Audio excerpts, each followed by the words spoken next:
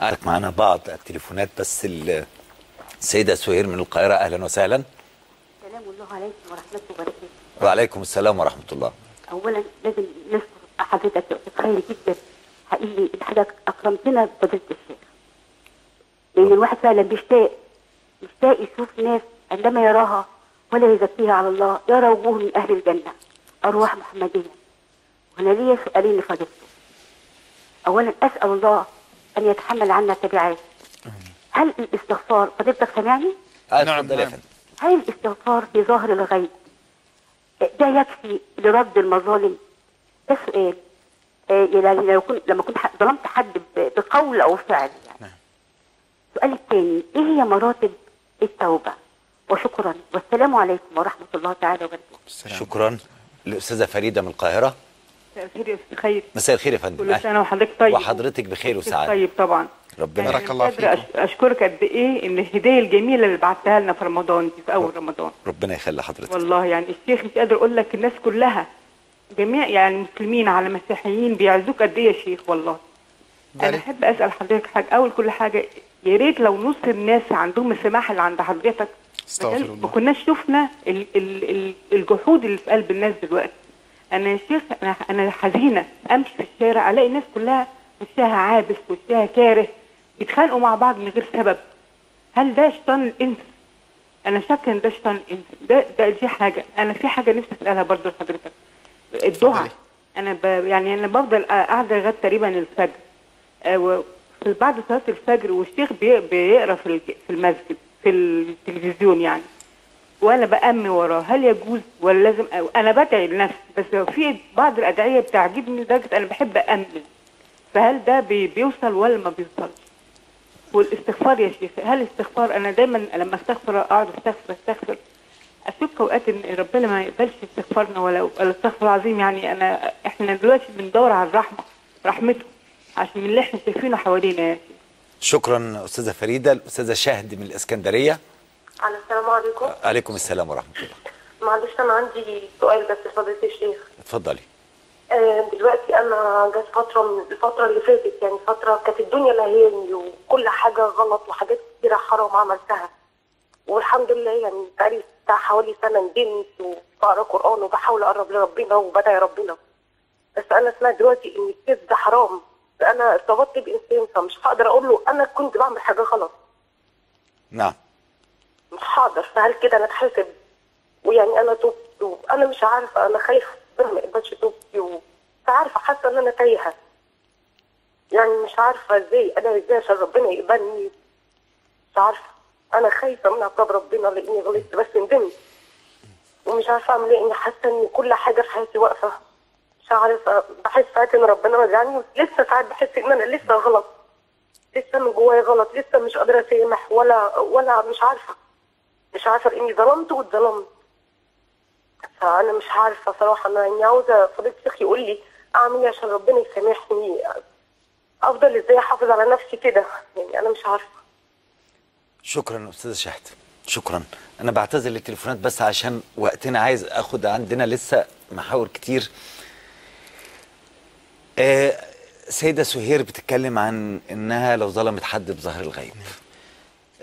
التوبة والرجوع إلى الله سبحانه وتعالى باب مفتوح عظيم كبير وهو بريد الحب. يقول الله عز وجل إن الله يحب التوابين ويحب المتطهرين ويحب المطهرين. بمعنى أن الله عز وجل لم يقل هنا إن الله يحب التائبين. تأمل. نعم. التوابين. ومعنى متكرر التوبة. أنهم متكرروا التوبة. معنى متكرر التوبة يحتمل أحد احتمالين. إما أنهم يصدقون في الترك ثم تغلب عليهم أنفسهم. فيرجعون إلى الله. فهم في مجاهدة مع أنفسهم. هؤلاء أحباب الله. وهذا جواب على هذه وعلى الأخت الكريمة التي بعدها. نعم. أبشروا. ما دام نور محبة الرجوع إلى الله في قلوبكم وتأخذون الأسباب والاحتياطات لعدم العود فأنتم على خير كبير. والمعنى الثاني أن الإنسان كلما ارتقى في الصلة بالله عز وجل كلما اكتشف في دخائل نفسه أشياء لا تليق والأدب مع الله فيحتاج أن يجدد التوبة. فيتوب من الكبائر فيتركها. يتوب من الصغائر يتركها. يتوب أحيانا من من طريقة عمله للمباحات بغفلة عن الله. أحيانا يتوب حتى من الطاعات التي أداها ب ب ب بعدم رعاية ل- للذوق مع الله. تقول السيدة رابعة العدوية رحمها الله استغفارنا يفتقر إلى استغفار.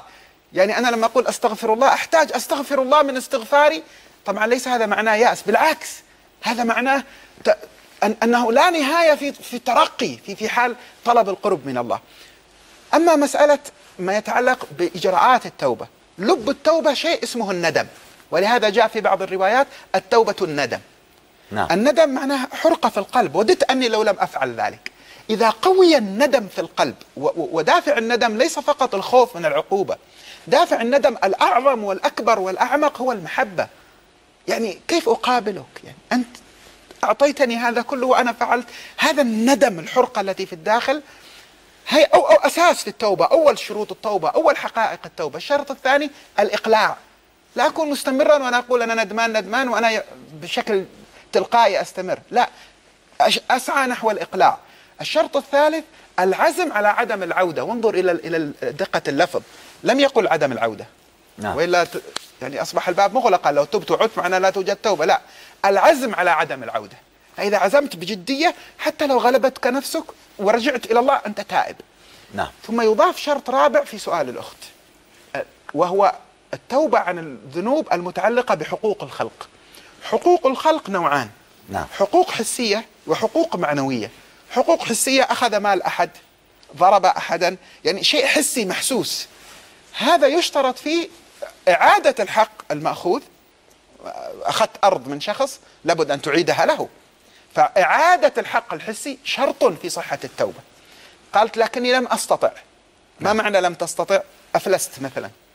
أو مات الشخص وليس له ورثة حتى أعيد إليهم نقول في هذه الحالة تبذل الجهد في الاستغفار له كما ذكرت الأخت الكريمة السائلة في محاولة التصدق عنه إلى روحه إذا كان قد مات. الصدق في الاعتذار إذا كان موجودا وأنت أفلست ومحاولة إعادة آه، محاولة استرضاءه فإن بذلت كل الجهود الصادقة في ذلك والله يعلم هل جهدك كامل أو لا صادق أو لا حينئذ الله يوم القيامة لا أقول. يعني يسقط حق الشخص لا لأن حقوق الخلق لا تسقط عندنا في الدين انتبه شوف نعم. حق حقوق الله مبنية على المسامحة حقوق الخلق مبنية على المشاحة لا تسقط. طيب أنا حاولت بصدق وما استطعت أو هو لم يسامحني. قل في هذه الحالة الله عز وجل يعطيه شيئا يوم القيامة عوضا عن حقه مقابل أن يسامحك ير- يرضيه الله عنك. النوع الثاني ال- ال- المظالم المعنوية. يعني إيش مظالم معنوية؟ تكلمت فيه بغير حق. يعني نشرت عنه إشاعات أو غيبة أو خطة في عرضه وهذا أخطر ما يكون. والناس اليوم مستسهلة الخوض في الأعراض. وهذا مباشرة ينقل الإنسان من حال المؤمن إلى الفاسق الذي يطعن في عرض أحد. فاسق يعني خروج على الدين. لا لا لا- ليس كافرا فاسقا. نعم الفسوق. مسلم فاسق. أي. نعم الفسوق الخروج نعم. هو فاسق في هذه الحالة. ينقله من المؤمن الطائع إلى الفاسق بمجرد أن ينطق بكلمة فيها هتك لعرض إنسان اتهام لعرض إنسان. ولهذا حتى جاءت حدود وتشديد عندنا في الشريعة حد القذف وإذا لم يثبت و... ليش؟ لأن حقوق الناس في هذه الأمور يعني في كل شيء ينبغي أن تراعى. لهذا نحن نقول إذا كان الخطأ أو الظلم معنوي عندئذ تعتذر إلى من أخطأت في حقه إذا كان قد علم نعم. وتطلب منه المسامحة. فإن سامحك فبه فبها ونعمت. إن لم يسامحك تحاول أن تسترضي. عجزت؟ تسأل الله أن يرضيه عنك. تستغفر عنه كما ذكرت الأخت. والله أكرم من أن يردك بعد ذلك. الله أكرم. لا لا تيأسوا من روح الله. وهذا يرجع إلى سؤال الأخت الأخيرة. أبدا الحالة التي تتكلمين فيها الآن هذه حالة شريفة. الفقير أتمنى لو أرتقي إلى الحالة التي أنت عليها. حالة الندم الصادق الذي يحملك على الطاعة والإقبال على الله. لكن احذري لا تجعل النفس الأمارة بالسوء أو الشيطان يصرفانك يصرفانك إلى اليأس والقنوط من رحمة الله. لماذا؟ ده مدخل مدخل. نعم. أنا رأك صادق في التق... الإقبال لا ما فيش فايدة فيك مش حيتغفر لك أمورك واقفة. فارجع. آه، أرجع أرجع بطل لا. القنوط هو معصية أكبر من المعصية التي ارتكبها الإنسان. لماذا؟ لأنه انتقاص من غير قصد لكن انتقاص من عظمة الله. كأنك تقول أن ذنبك أكبر من رحمة الله. كأنك تقول أن معصيتك أعظم من مغفرة الله. هذا غير صحيح قطعا. فلهذا الإنسان يفتح أبواب الرجاء. أبشري. والله إن نبرة الصدق التي تتكلم بها والحرقة والندم لا يرقى إليها الكثير ممن يبيتون يصلون طول الليل. لأن ثمرة الصلاة هذا الإحساس. لكن وجهيه إلى الفرح بالله إلى ال- ال- ال- اللياذ بالله عز وجل. هو أصلا لم يقذف في قلبك الرغبة في التوبة إلا وقد تاب عليك. اسمعي انتبهي لهذه الكلمة. الله تعالى يقول ثم تاب عليهم ليتوبوا. معنى هذا أن إقبالك على التوبة هو أصلا علامة على أنه قد تاب عليك. فينبغي الإنسان أن يقبل إلى الله بالرجاء على هذا النحو. بس هي طرحت كمان نقطة مهمة قوي في حضرتك اتكلمت عن حقوق العباد. لو إنسان رجل كان أو أنثى نعم. دي أنثى بترتبط بشخص وكان لها من خطاياها الله يعفو, يعفو عنها ويغفر لها أو كان له من خطاياه قبل أن يتزوجها ولم تخبره بذلك. هل له حق أن تخبره بذلك؟ لقد سترها الله في الدنيا أو ستراه الله في الدنيا. وراح أتجوز واحدة فأقول لها أنا كنت بعمل وبعمل وبعمل بعض الناس في الثقافة المعاصرة يرون أن هذا أقرب إلى إلى وشائج الحب فإن كانوا يعلمون من أنفسهم أن لو أحد منهم اعترف لكن بدون التفاصيل أنا أخطأت مع ناس كثير قبلك وكانت لي علاقات أريد أن أكون واضح معك إذا كان هذه ثقافة المتحدث المترا ليست في ثقافة مجتمعاتنا إلى حد كبير يعني قد يعني أنا أريد أن. أتسع في في في في- في الجواب بمعنى أن أشمل مختلف الناس لو نعم. كانوا حتى حيز من مجتمعنا وديننا لكل المجتمعات من كان يعلم من نفسه ومن التي ارتبط بها أن ثقافتهم تقتضي ذلك وأنه سيؤدي إلى فتح صفحة جديدة نعم ولكن لا يكون بهتك ستر الله فعلت كذا مع فلانة. لا. أنا أخطأت كانت لي علاقات وأود أن تكوني على معرفة بذلك حتى أبدأ معك صفحة جديدة. سؤالك هل هذا يلزم؟ لا لا يلزم. عدم الذكر هل يعتبر غش؟ لا لا يعتبر غش لأنه لم يكن هناك ارتباط أصلا. نعم. لم يكن بينه وبينها ارتباط حتى يعتبر في هذه الحالة قد خانها. إذا الأصل لا لا ينبغي ولا ينبغي أيضا للزوج أن يفتش على ماضي زوجته ما دامت أصبحت صالحة ما نعم. دامت مستقيمة. ولا ينبغي للزوجة أن تفتش على ماضي زوجها. هذا سيفتح أبواب أنتم ارتبطتما تفتيش عن العلاقات الماضية قبل الارتباط. أريد أن أطمئن فأسأل هو كيف هذا قبل أن أقرر الارتباط. طالما ارتبطت. أما وقد ارتبطتما التفتيش عن الماضي هذا يضر أكثر مما ينفع. حتى لو سمع بعد كده مولانا ورجع يقول لها أنا سمعت كذا كذا الكلام صحيح ولا لا؟ الرجل الواعي لا ينبغي أصلا أن يفتح أذنه لمن يتكلم فإذا جاء من يسمع يقول لو سمحت أنت تتكلم الآن عن عرضي إلزم السكوت لا أريد منك كلاما. ما دام شيء غير متعدي ما دام نعم. شيء أصبح ماضيا وانتهى. أما شيء لا يزال مستمر الآن هذا شيء ده, آخر. ده أمر آخر. فالأصل لا ينبغي أن أفتح أذني لمثل هذا الذي يزلزل البيت. الشيء الثاني إذا سمعه لا ينبغي أصلا أن ينقله إليها ولا ينبغي أن يعيش هذا ال... هذا الهاجس لأن الرجولة لا تقتضي ذلك. الرجولة ما دامت هي قد استقامت وأنت قبلتها زوجة انتهى صفحة وفتحت من جديد. نحن لا نحب أن يفتح الله لنا صفحات جديدة عندما نخطئ. نعم. طيب كيف كيف يعني هذه ازدواجية في المعاملة من حيث لا نشعر هذا من خداع النفس. يعني عامل الناس كما تحب أن تعامل. وهذا الأصل. إلا إذا كان كذبت عليه مثلا قبل الارتباط. قالت له ليس هناك كذا ثم اكتشف أن هناك كذا. معنى هذا إخلال بال- بالتعاقد نفسه. نفس يعني. بال- بال- لو سألها كان لك علاقات فتقول له أيوة كان لي علاقات عرفت حد قبلي فتقول له أيوة يقول لها حدود العلاقة إيه؟ أنا أتكلم أن الأصل لا ينبغي التفتيش. نعم. إلا لو إذا كان حدث. إلا, إلا لو كان شيء يصل إلى حد التغيير في أصل العقد. يعني يعقد عليها على أنها بكر وهي ليست بكرا هذا غش. بمعنى ليس لها سابق ارتباط هذا غش.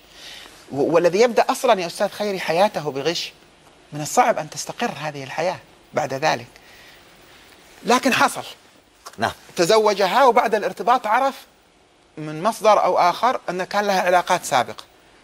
ما دامت مستقيمة اليوم وتعيش معك بأخلاق وبصدق لا تفتح باب الوسوسة، يعني هذا النوع من الشكوك يدمرك يدمرك ويدمر حياتها هي أيضا.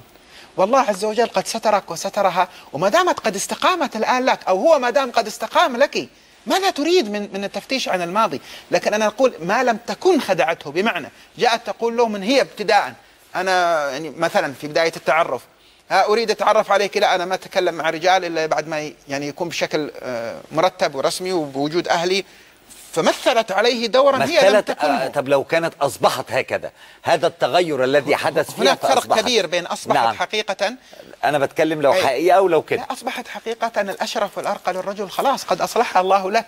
نعم. فلا تنكش يعني أصلحها الله لك. فلا تفتش يعني الله جاء لك بها وقد صلحت. نعم. ما لم يكن هناك مؤشرات وليس وساوس. نعم. أيضا لا يفتح باب الوساوس.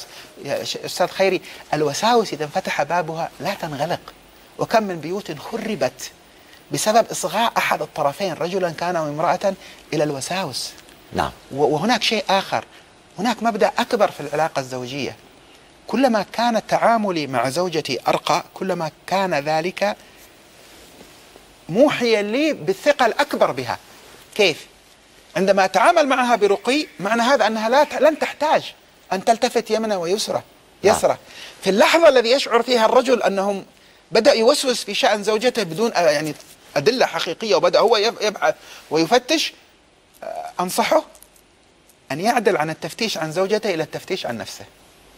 انظر في الخلل الذي عندك ما نقطة الضعف التي عندك فجعلتك تبحث عن احتمالات نقاط ضعف عندها. وأنت كذلك. مش ال- الإساءة التي تصدر منك في تعاملك معه فتجعلك قلقانة قلقة غير واثقة للتعامل به. لهذا يعني الله اسمه الستار. نعم. اسم الستار هذا اسم عظيم نحتاج أن نتأمل فيه. وبدون إهمال أو غفالة أو أو أو أو تغاضي عما لا يتغاضى عنه لكن لا نفتش عما لا يوجد. لا قالوا لنا التكييف شوية يا جماعة عشان الكلام آه، سيدنا النبي عليه الصلاة والسلام. بس قبل ما نروح لسيدنا النبي السيدة الفضيلة اللي سألت عن التأمين على شيخ في التلفاز في المسجد إمام مسجد يصلي وهي تقول آمين آه، يكون لها الثواب والقبول من الله سبحانه لا وتعالى شك لأن الدعاء في الأصل هو توجه إلى الله. فإذا سمعت في شريط أو في تلفاز أو في مذياع راديو أو في مكبر صوت أو في مسجد بجانبك وأنت مارة دعاء شعرت أنه مس شيئا في قلبك. قولي آمين. الله عز وجل سيكتب لك الدعاء. آمين. ما معنى كلمة آمين؟ أي يا رب استجب. نعم. فمجرد أن تقولي آمين أي يا رب أنا أدعوك بهذا الدعاء فاستجب يا رب. مسألة الدعاء واسعة وفي نفس الوقت عميقة ولا يمكن أن نجعلها بطريقة آه، واحد زائد واحد يساوي اثنين. نعم. بالطريقة آه، الميكانيكية أو الآلية. لا هي وجهة قلبية. حتى ألفاظ الدعاء الواردة عن الحبيب صلى الله عليه وسلم. أو الأدعية القرآنية المعظمة. قيمتها أنها ملأى بالمعاني وأنها صدرت عن عن وجهة خالصة من قلب الحبيب صلى الله عليه عليه وسلم. أو التي في القرآن أن الله علمنا إياها. فقيمتها في المعنى الذي فيها. ولهذا فضل أن نقرأها. لكن لا أن نقرأها حفظا وتنتهي ولا أن ننحصر عليها. ما يخطر في قلبك كان البعض من السلف يقول إني أسأل الله كل شيء حتى الملح لطعامي.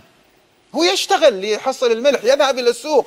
لكن يعرف معنى يا رب أنا محتاج ملح يسر لي الملح. ويذهب للملح لماذا؟ لسببين. السبب الأول ثقة في القلب بأن الله قريب. هو قريب مني. هو أقرب إلي من السوق قبل أن أذهب إلى السوق لأشتري. نعم. فأطلب من القريب وهو صاحب الملك المطلق في هذا الوجود. السبب الثاني أني أحبه. تعرف أستاذ خيري الإنسان لما يحب أحد يبحث عن أدنى عذر عشان يكلمه. يخاطبه. نعم. يقول عندكم في مصر يقول بتحكك يعني. بتلكك. تلكك يبحث عن بتلكك. يبحث عن أدنى عذر ليخاطب. فأنت مار في الطريق سمعت إنسان يؤمن و- وت- يدعو والدعاء حرك قلبك. تعرف ما سر الدعاء؟ هذه الحركة التي في القلب. لحظة الوجهة.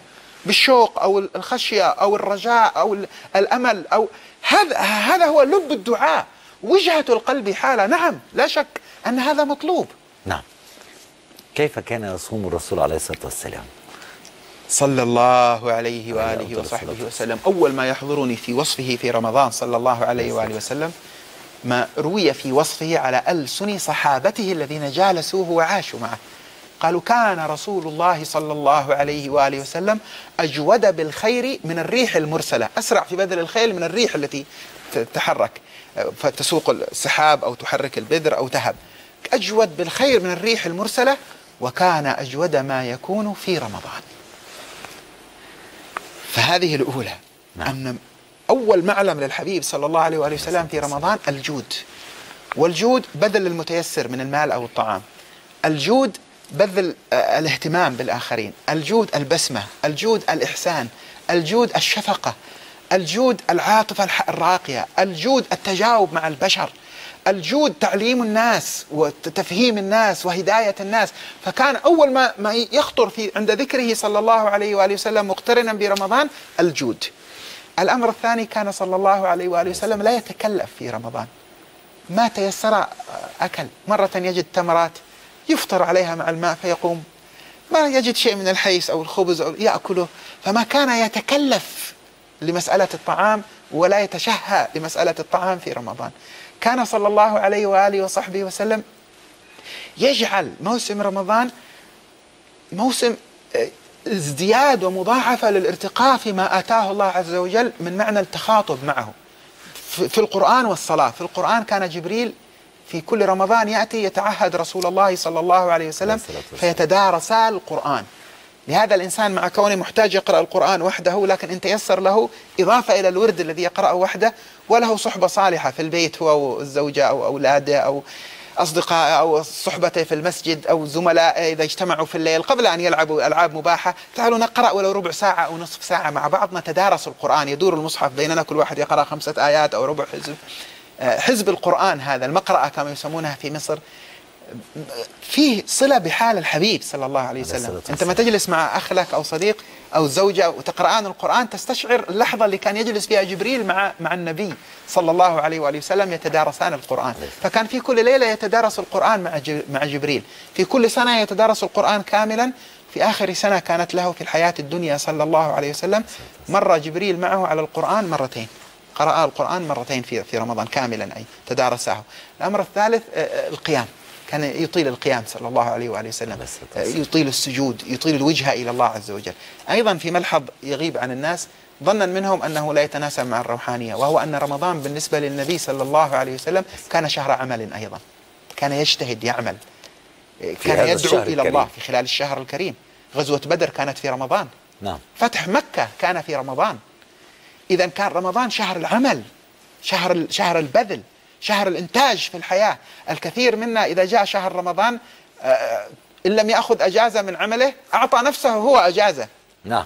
وربما آه، يعطل أناس لهم مصالح ينبغي أن تقضى. إحنا في لا- رمضان يعني خلونا. خلونا. وأسوأ من هذا كله أن تجد موظفا على مكتبه في شهر رمضان وهو ممسك للمصحف الشريف والذين يراجعونه منتظرون ينتظرونه في وقت العمل ليقضي حاجات هو مسؤول أمام الله عن قضائها لهم فيؤخرهم. أولا آه، أنتظر آه، خلص جزء القرآن.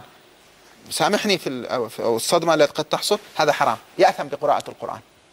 هو آثم في هذه اللحظة عندما يقرأ القرآن. نعم. آثم. آثم. لأن قراءة القرآن نفل. وهو ملتزم مقابل المرتب بقضاء مصالح الناس فهو فرض بالنسبة بالنسبة له. فهو ترك الفرض للنفل. وهو أيضا يرجع أحيانا للعب النفس علينا. هو يريد يرتاح من العمل فيتعذر بالقرآن. أو هو محب صادق للقرآن لكن اختل عنده الميزان. لم. لم يرتب الأولويات ولم يفهم أن قضاء حوائج الناس عبادة. نعم. سيدنا أبو بكر الصديق رضي الله تعالى عنه كان من أوراده. شوف كلمة أوراد. أنه يطوف على عجائز الحي الذي كان آه، فيه جيرانه. يمر على العجائز عجوز عجوز التي التي ليس لهن أحد يقضي حوائجهن يعني ما لهم أحد يساعدهن. ها ماذا تريدين يا خالة من من السوق؟ أريد كذا وكذا وكذا وفلانة كذا ويذهب إلى السوق يشتري حاجاتهن ويضعها في الأكياس ويدور بيتا بيتا ليقضي حاجاتهن. كان يرى أن هذا عبادة يتقرب بها إلى الله عز وجل حتى أنه لما تولى الخلافة تكلمنا عجائز المدينة. لن يفرغ لنا الآن وطبيعي لن يفرغ.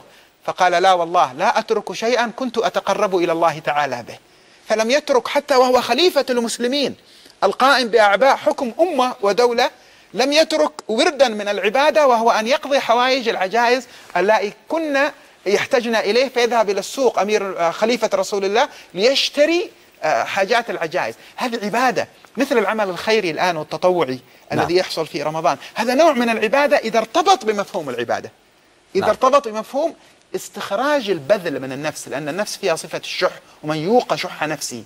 فهذه وقاية من شح النفس. ولهذا الحبيب صلى الله عليه وآله وسلم. جاء في أشهر أوصافه أجود بالخير من الريح المرسلة وكان أجود ما يكون في رمضان ولا زال صلى الله عليه وسلم. عليه أفضل الصلاة والسلام. ولا زال كيف؟ ولا زال كل الذي نعيش فيه الآن من الجود هو من ثمرة جوده مما علمنا إياه صلى الله عليه وآله وسلم. جوده لا زال صلى الله عليه وآله وسلم تعرض عليه أعمالنا. فيستغفر الله لنا. فأحمد الله إن كانت خيرا حمدت الله عليه وإن كانت غير ذلك استغفرت الله تعالى لكم. وهذا من جوده صلى الله عليه عليه وآله وسلم. وغدا أيضا سنحتاج إلى جوده في يوم الشفاعة العظمى. رزقنا الله. شفاعته. سيدي بتبقى لدي بعض ما هو متعلق بحضرتك في الوقت القليل المتبقي. اولا آه، آه، بدأنا حلقات آمنت بالله التي تذاع في السادسة مساء على سي بي سي البعض بيرى إن مفيش فرصة للإجابات وأن تطرح قضايا كثيرة وحضرتك ما بتردش عليها وكأنك تقرها آه، بالفعل هذا التساؤل جاءني أيضا على على تويتر وعلى ال- الفيسبوك في الصفحات يعني من عدد من الأشخاص. اولا لابد أن نوضح أن هذه الحلقات ليست للرد على تفاصيل الأفكار. نعم. لأن الأفكار التي تطرح الحلقة الواحدة تطرح فيها عشرة أفكار قد نختلف مع ثمانية منها أو سبعة أو أربعة أو أيا كان. الواحدة منها تحتاج إلى خمس أو ست حلقات لتوضيحها. نعم. الهدف كان من هذه الحلقات فتح أولا باب القدرة على التفاهم. يعني هذه السنة الهدف من حلقات آمنت بالله آه، إزالة الحواجز التي بيننا وبين الشباب. نحن نعاني من جفوة بين الشباب وبين من يتحدث بالخطاب الإسلامي. الجزء الأكبر من هذه الجفوة نحن تسببنا بها من عدم إصغائنا إليهم. صار هناك انطباعات أن آه، المشايخ ما يستمعون أصلا لا يقبلون أصلا الاستماع. الهدف هنا أن نسمعهم ونحاول أن نتعرف عليهم. ويستمعون إلينا ويحاولون أن يتعرفوا إلينا. وما يتسع له الوقت من التعليق على القضايا بعمومها يحصل.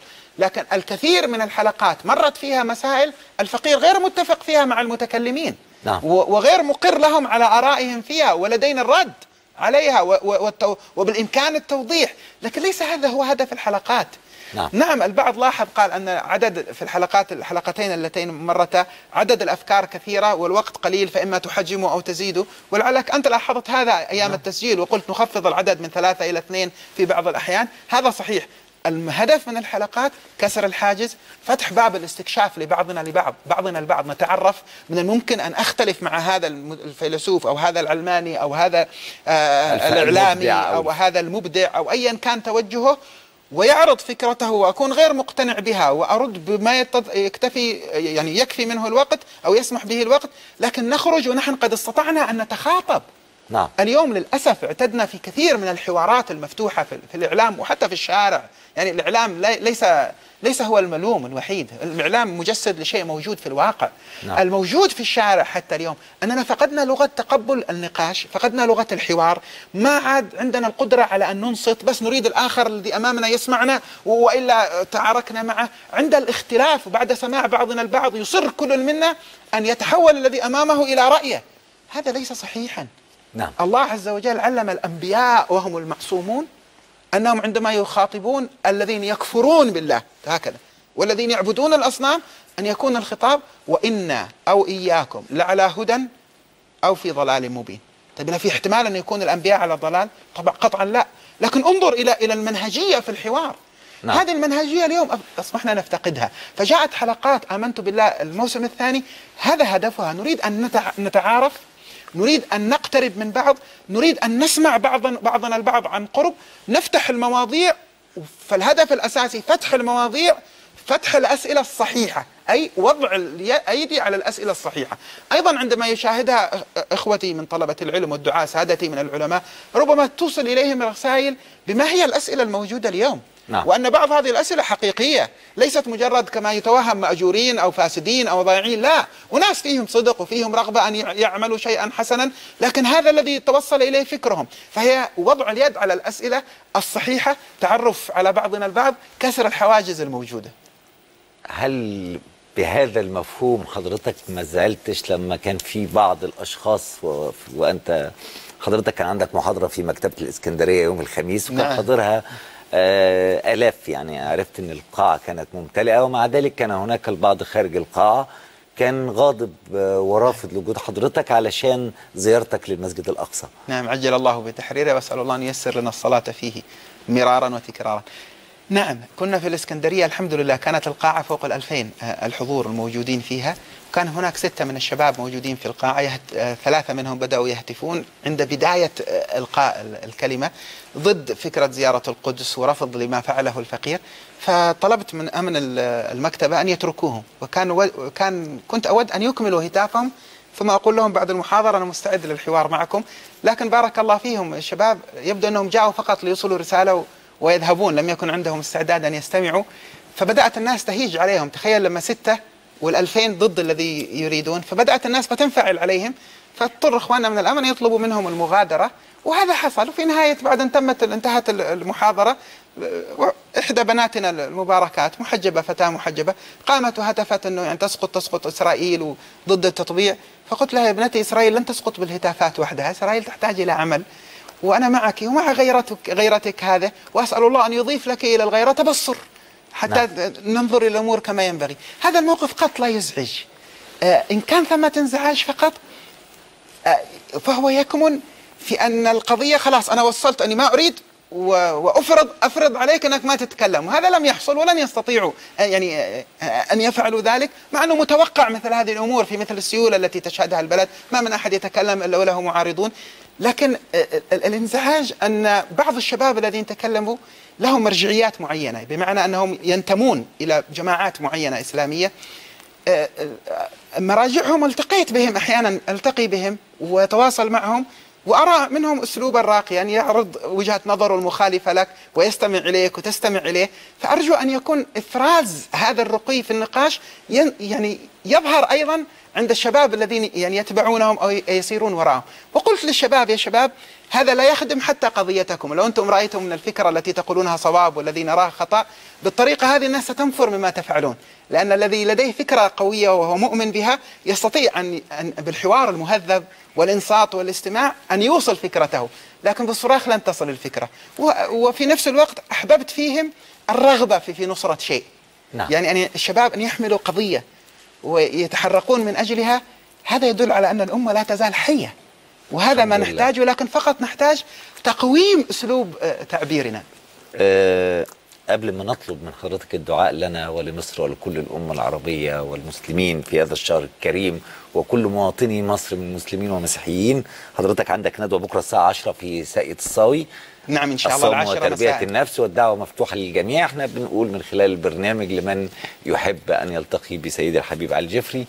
وأنا قبل ما تدعو لنا بشكر حضرتك على وقتك الثمين وعلى ما منحته لنا وعلى كرمك وعلى ما أضفته إلينا في وجودك في مثل برنامج آمنت بالله على مدى عامين. فعلت ذلك متطوعا ومحبا ونحن حبا فيك واحتراما لما تحمله من علم. أنا بشكر حضرتك جدا جدا جدا.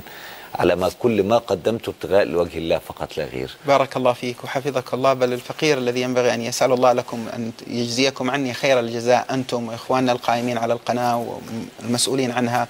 الشباب الذي كانوا يبذلون الجهد الطويل في التصوير والتسجيل والترتيب.